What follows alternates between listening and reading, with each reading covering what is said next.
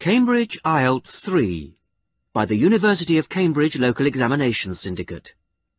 Published by Cambridge University Press. This recording is copyright. Test 3. You will hear a number of different recordings and you will have to answer questions on what you hear. There will be time for you to read the instructions and questions and you will have a chance to check your work. All the recordings will be played once only. The test is in four sections. Write all your answers in the listening question booklet. At the end of the test, you will be given 10 minutes to transfer your answers to an answer sheet. Now turn to section 1.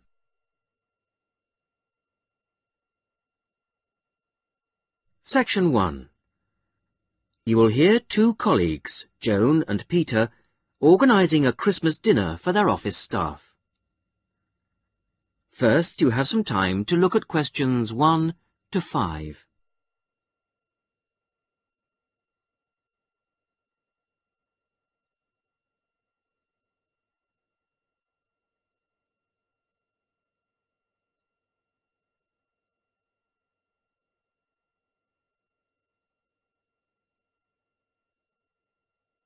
You will see that there is an example which has been done for you. On this occasion only, the conversation relating to this will be played first. Right. Let's try and get it sorted out today, so we don't have it hanging over us, OK? Good idea. I'll take notes. First thing, numbers. Have we got anything definite? Well, I've been working it out, and I think 40 to 43. Shall we put 45 to be on the safe side? Yep, fine. Joan and Peter agree that 45 is a safe number to book for, so 45 is written as the answer. Now we shall begin. You should answer the questions as you listen, because you will not hear the recording a second time. Listen carefully to the first part of the conversation and answer questions 1 to 5. Right. Let's try and get it sorted out today, so we don't have it hanging over us, OK? Good idea. I'll take notes. First thing, numbers. Have we got anything definite? Well, I've been working it out, and I think 40 to 43. Shall we put 45 to be on the safe side? Yep, fine. Dates. Well, that's straightforward. The last working day before Christmas, which is... Uh, Which is December the 21st. which is going to be pretty difficult to book at Christmas. So we'd better think of two or three places, just to be on the safe side. Well, last year's was hopeless. Mm, the Red Lion, wasn't it? Yeah. We ought to go for something more expensive, 'cause you... You gets what you pay for. Hmm. That new Indian restaurant in Weatherfield is supposed to be excellent. The Rajdoot. Oh, how do you spell that? R-A-J-D-O-O-T. And it's bound to be packed. Well, let's put that down as the first choice and have some backups. What about the Park View Hotel as a second choice? Yes, that's always reliable. Park View Hotel, And the London Arms, in case. London Arms. I'll call them now if you want. No, I'll do it, Joan. You're really busy. Oh, have you got the numbers? Not for the Raj but, uh, right, Park View Hotel. Seven double seven one nine two and London Arms two oh eight six five seven. Great. Before I ring, we'd better just make sure they're within the price range. Up to fifteen pounds a head? Uh, I think you'll find some people won't be able to go that high. Well, you can't get anything decent under ten pounds. OK, we'll say 12. Okay. And we'd better make sure there's good vegetarian food. And a non-smoking section. You know what the boss is like. Hmm, Don't remind me. Ah, I'll let you know as soon as I get anything. Before you hear the rest of the conversation, you have some time to look at questions 6 to 10.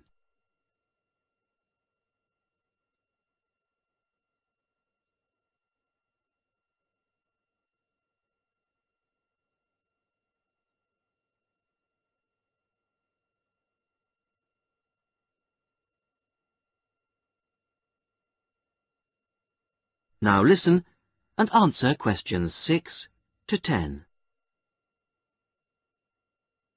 Good news. I found Rajdoot's number straight away, and they can fit us in.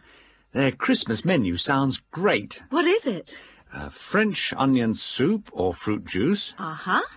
roast dinner or lentil curry. Sounds ordinary, but my friend said it was really tasty. Hmm, lentil curry. That's unusual. And then for dessert, there's traditional plum pudding or apple pie, uh, plus coffee. That sounds really good for £12. Did you book it? Well, I I said I'd check with the staff first, but they did say they'd hold the booking until next Wednesday anyway. Oh, and if we go ahead, they'd like a £50 deposit. Oh, 50 is normal. That's fine. And they want a letter. Right, to confirm. Oh, and they say with such large numbers, we have to choose the menu in advance. Well, that won't be a problem. I'll put up a notice with details of the restaurant and the menu. When did you say they wanted confirmation by?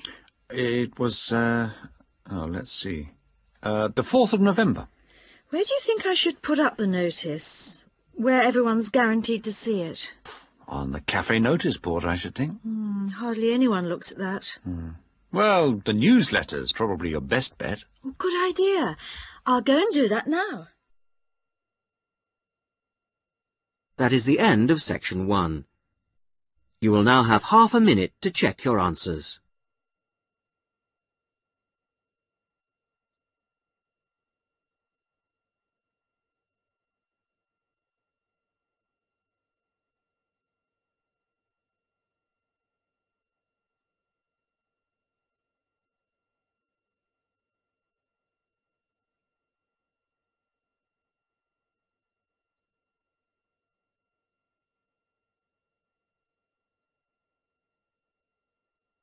Now turn to section 2.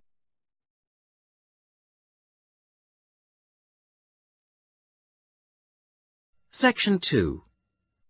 You will hear a college tutor asking Julie Brooks, director of a college sports centre, to talk to a group of students about the centre.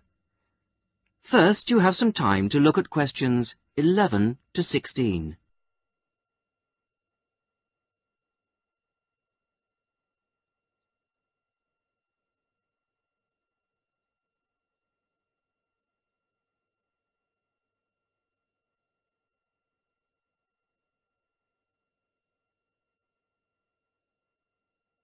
Listen carefully to the first part of the talk and answer questions 11 to 16. So, I'll hand over now to Julie Brooks. Thank you. Welcome to the Sports Centre. It's good to see that there are so many people wanting to find out about our sports facilities. First of all, membership. All students at the college are entitled to become members of the Sports Centre for an annual fee of £9.50. To register with us and get your membership card, you need to come to reception between 2 and 6 p.m. Monday to Thursday. I'm afraid we can't register new members on Friday, so it's Monday to Thursday, 2 to 6 at reception.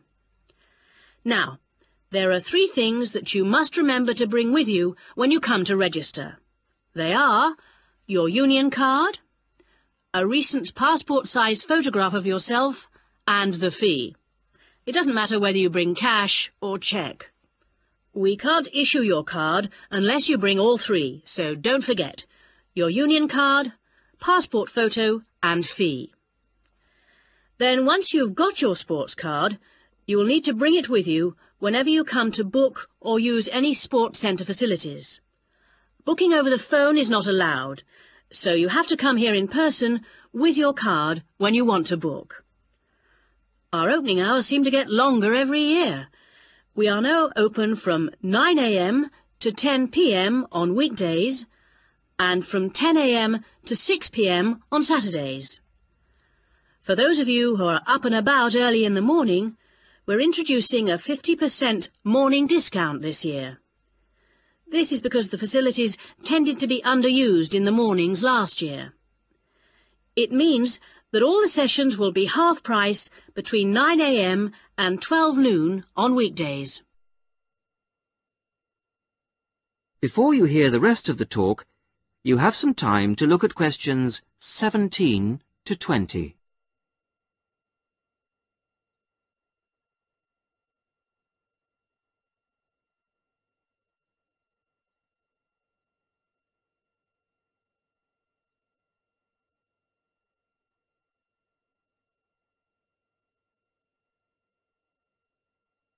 Now listen and answer questions 17 to 20.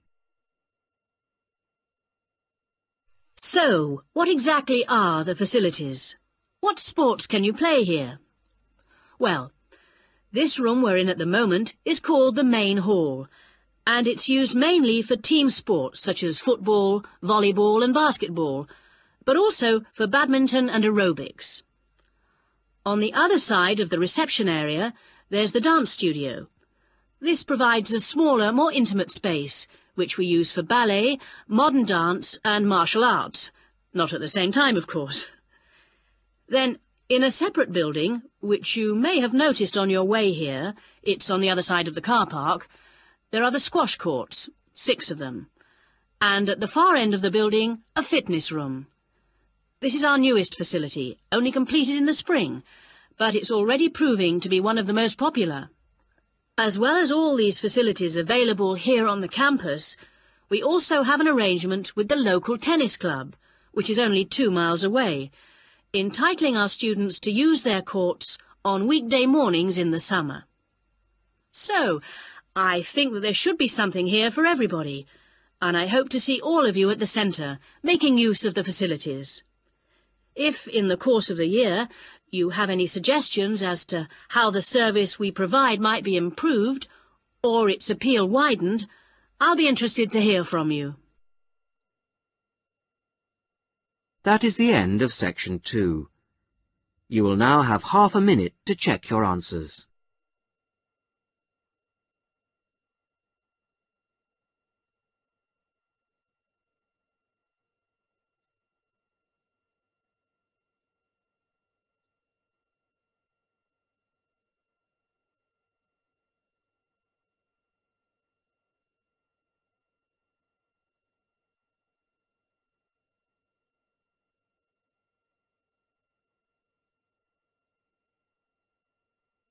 Now turn to section 3.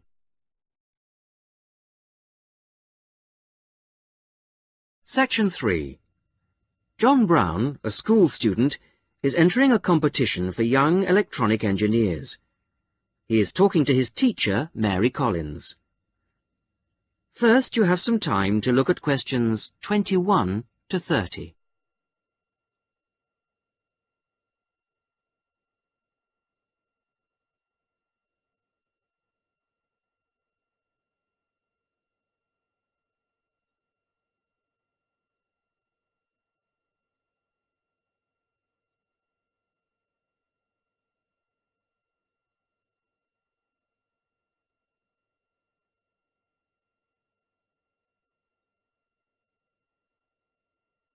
Now listen and answer questions 21 to 30. Good morning, Mrs. Collins. I just wondered if you could help me with this entry form for the Young Electronic Engineer competition. Hello, John. Oh, you've made the jigsaw for blind children with the bleeper. When they put a piece in correctly, that's right. OK. Let's have a look at the form. Right, thanks. I've never filled in one of these before, so... Uh... Well, let's just do it in pencil first. So, name of designers. Well, Anne helped me with some of the electronics work. Then you must put her name in as well. Right. Anne Ray. Sorry, it's A-double-N-E, and her surname is spelt R-E-A. Good start. OK, R-E-A. And age is easy. You're both 16. What have you called the design? Uh, keep it short. What about jigsaw puzzle design for visually handicapped? Ah, too long. Just say blind puzzle. That'll do. Okay. Right now, size of equipment? I've got it noted down here. Uh, yes, length, uh, sorry, width is 20 centimetres. Okay. Length is 50 centimetres, and then the depth is, well, it's very little. What would you say? Uh, I think you can be approximate. I'd say 2.5 centimetres. And the electricity supply? Is it mains operated? No, it isn't. It's actually battery. Okay. Right, battery. Fine. Okay, it's the next bit that I'm really not sure what to put. Well, special features means what is really new about this? You know, suitable for the group you made it for. Well, it's safe for children. That's fine. Put that in. Okay. And of course, we think it's educational. Yep, there you are. You've done it. Anything else? Well, I, I think the price is good. That's probably the most important factor. Okay, cheap price. Which brings us on to the next bit. What's the cost? Well, the pieces we made out of old wood, they cost, oh, five dollars. And the electrics? They were more expensive, say nine dollars fifty. Oh, brilliant. Now, what do they mean by other comments? Ah, it's just a chance for you to say anything about the equipment and problems you envisage. Well, we'd really like help with making plastic instead of wooden pieces. Well, put something like, need help to make plastic pieces. Okay. And the other thing is, we'd like to develop a, a range of sizes. Well, that's fine then, just put that. And the last bit is, when will you send the equipment? Well, we've got a lot of work on at the moment, and we want to get it as good as we can. Well, say 25th of June? Mm, can't we make it later? Well, the last date is the 1st of July. Why not say that? Okay, that's what I'll put. So, that's the lot. That's brilliant. Thanks very much, Mrs. Collins. I'll send it off straight away. Glad to be of help. Very best of luck to you both. Thanks. Bye. Bye. That is the end of section three.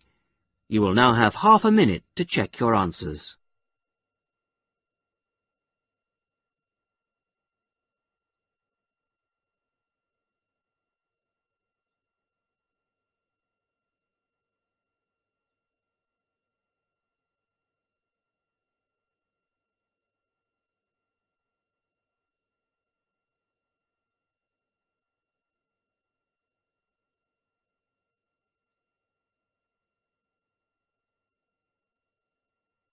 Now turn to section 4.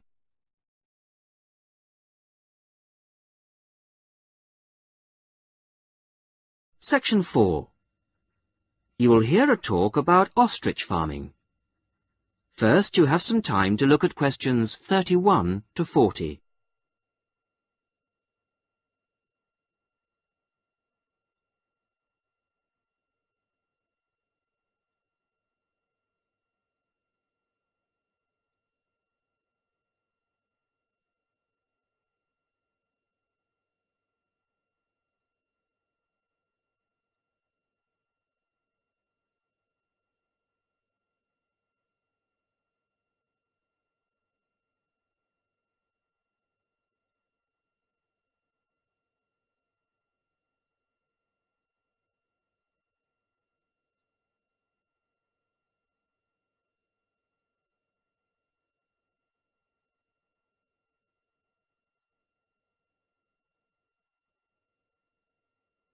Listen carefully to the talk and answer questions 31 to 40.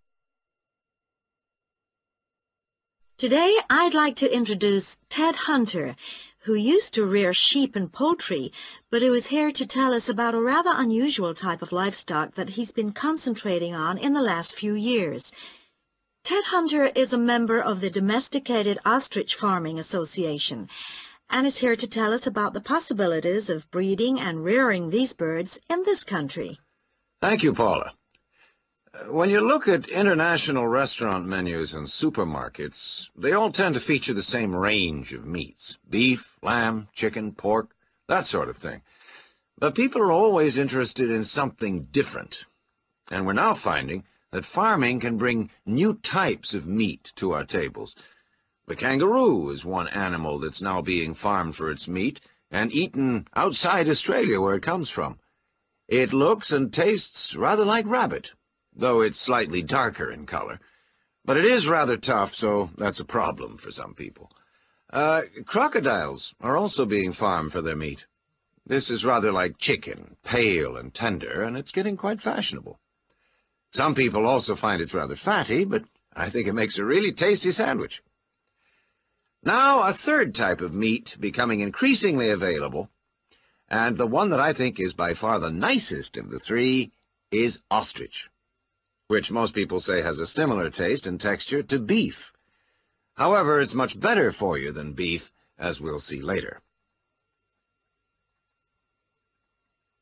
Most people think of ostriches as wild animals, but in fact, ostriches have been farmed in South Africa since around 1860. At first, they were produced for their feathers. In Africa, they were used for tribal ceremonial dress, and they were also exported to Europe and America, where they were made into ladies' fans and used for decorating hats. Later, feather fans and big decorated hats went out of fashion, but ostriches were still bred, this time for their hide. This can be treated to produce about half a square meter of leather, very delicate, Fine stuff, of very good quality. At the same time, some of the meat was used for biltong, the air-dried strips of meat popular in South Africa as a sort of fast food. However, recently there's been more and more interest in the development of ostrich farming in other parts of the world, and more people are recognizing its value as a food source. Ostrich meat is slightly higher in protein than beef, and much lower in fats and cholesterol. It tastes good, too. A series of European taste tests found that 82% of people prefer ostrich to beef. And one ostrich produces a lot of meat, from around 30 to 50 kilograms, mostly from the hind quarters of the bird. Farmed ostriches don't need African climates. And in fact, ostrich farming is now becoming well established in other parts of the world. However, setting up an ostrich farm isn't something to embark on lightly. Mature breeding birds are very expensive. Even a fertilized ostrich egg isn't cheap, so you need quite a bit of capital to begin with. Then the farmer needs special equipment, such as incubators for the eggs. The young chicks are very dependent on human minders, and need a lot of attention from the people looking after them. In addition, ostriches can't be intensively farmed. They need space and exercise. But in spite of this, they make good farming sense. A cow produces only one calf a year, whereas a female ostrich can lay an egg every other day. And because the farmers can use incubators and hatched chicks are nourished well and protected from danger, the failure rate on farms is very low indeed, and almost all the fertilized eggs will hatch out into chicks, which will in turn reach maturity. This is very different from the situation in the wild, where the vast majority of chicks will die or be killed before they grow up into mature ostriches. So it's possible, once the initial outlay has been made, for the farmer to be looking at very good profit margins indeed. Ostrich farming is still in its early days outside Africa, but we hope that ostrich meat will be freely available soon, and before long will be as cheap as beef. That is the end of section four.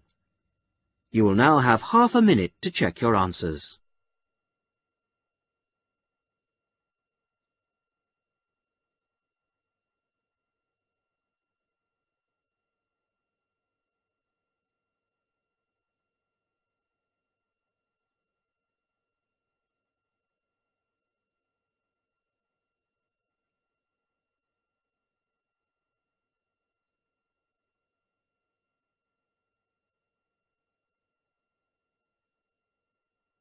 That is the end of the listening test. In the IELTS test, you would now have 10 minutes to transfer your answers to the listening answer sheet.